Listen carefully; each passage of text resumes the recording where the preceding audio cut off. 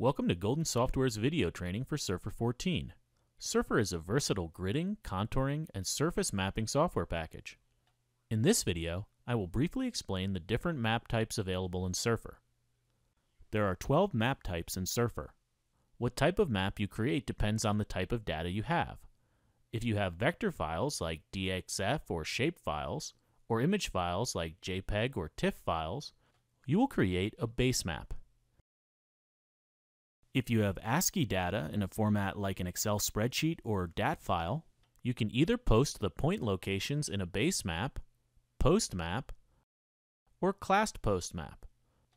Or you can grid the data and display the grid as one of nine grid-based map types. If you have a grid file like a GRD, ASC, or DEM file, you will create one of the grid-based maps from it. Alternatively, if you don't have any data, you can download grid files, vector files, and image files directly from WMS servers into Surfer to display as grid-based maps and base maps. For each map type, you can select the map layer in the Contents window and edit the properties in the Properties window. Now let's create each map type and learn a little more about them. Base maps plot images, points, lines, and or areas and are created from imported or downloaded files. These files can either be vector boundary files, image files, or ASCII data files. To create a new base map, click Home, New Map, Base, and select one of the base map options.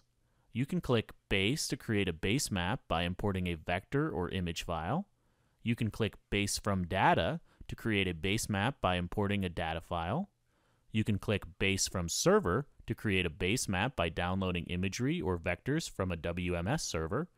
And you can create an empty base map by clicking Empty Base Map. We will click Base to load in an image file. In the Import dialog, choose your image or vector file and click Open. Post and classed post maps are created from ASCII data files. They both post points at defined XY locations. Post map points can be colored with a continuous color scale based on a data column. Classed post map points can be binned into discrete groups with custom symbols for each group. To create these maps, click Home, Wizard, Map Wizard. In the Map Wizard Select Your Data dialog, in the Select File section, choose your data file.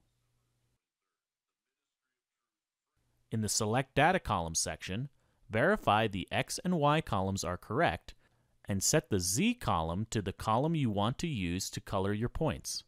For data files like this, the data preview can help you choose these columns. Click Next. In the Map Wizard Select Your Map Type dialog, choose the map or maps you want to create. Click Finish and the map is created with both a post and a classed post layer.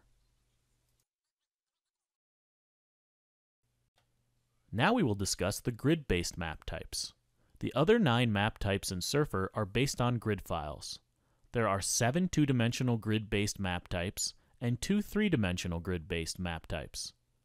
Grid files can be created directly in Surfer from XYZ data files by clicking the Home, Grid Data, Grid Data command. Or you can obtain grid files from other sources, such as downloading into Surfer from WMS servers or by exporting them from another program. Of the seven two-dimensional map types, six can be created as new maps, and one must be added to an existing grid-based map. The six that can be created as new maps are contour maps, shaded relief maps, color relief maps, watershed maps, vector maps, and grid values maps. To create these, click Home, Wizard, Map Wizard. In the Map Wizard Select Your Data dialog, in the Select File section, choose a data file or a grid file. Click Next. In the Map Wizard Select Your Map Type dialog, Select the map type or types to create. The map types with the lock icon cannot be created from the selected file type. We'll select all of the 2D grid-based maps and click Finish.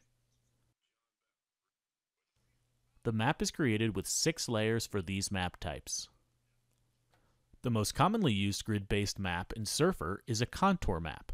Contour maps are two-dimensional representations of three-dimensional data.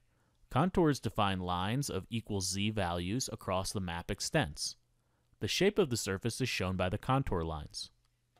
Color relief maps are raster images based on grid files. Color relief maps assign colors to grid cells based on the z values in the grid file.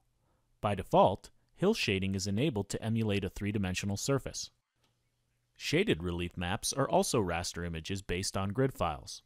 Shaded relief maps assign colors to grid cells based on the orientation of the z value relative to a light source. This is the same process that is used in hill shading for color relief maps. Watershed maps display regions draining into a stream, stream system, or body of water. A watershed map reads the data from a grid file and splits the grid up into basin or catchment areas. Stream paths are calculated based on the amount of flow into the grid node from all surrounding grid nodes. Each catchment area has a stream where water will collect from any point within the catchment area. Vector maps display direction and magnitude data using individually oriented arrows. Vector maps can be created using the information in one grid file or two grid files.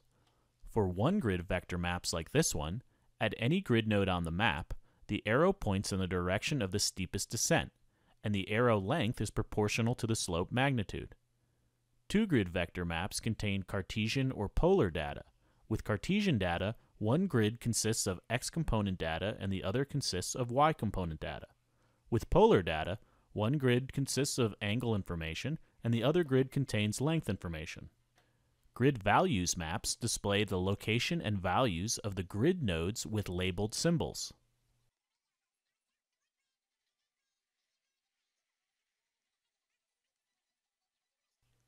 The last two-dimensional grid-based map type is the one that cannot be created as a new map, but must be added to an existing two-dimensional grid-based map. This map type is the viewshed map.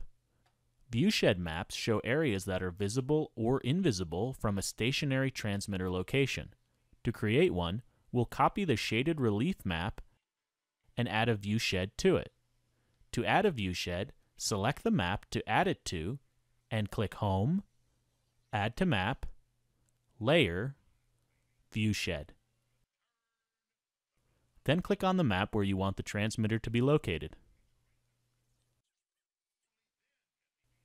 The last two map types in Surfer are the three-dimensional maps. In Surfer, you can plot a 3D wireframe or a 3D surface to represent your three-dimensional data in 3D. Wireframes are created by connecting z values along lines of constant x and y. The more grid lines the grid file has, the more wire lines will be shown on the map.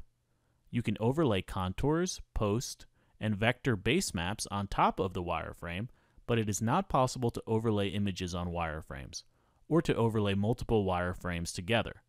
To create a wireframe, click Home, New Map, 3D Maps, Wireframe.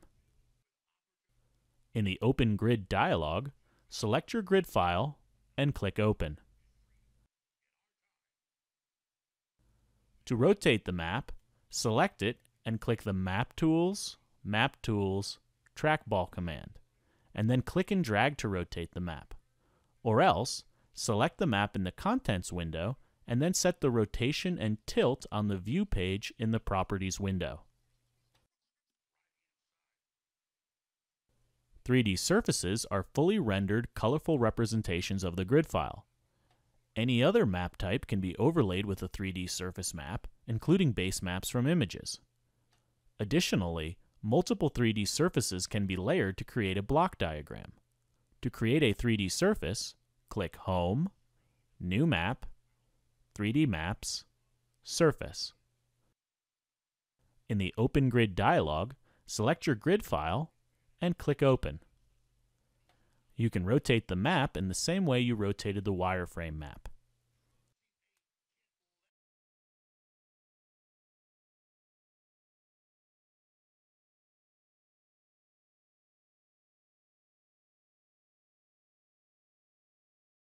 This concludes the video training for map types in Surfer 14.